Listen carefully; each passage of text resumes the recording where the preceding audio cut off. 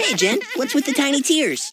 I I tried to unscrew it, and it just got bigger. Come on, it's nothing to freak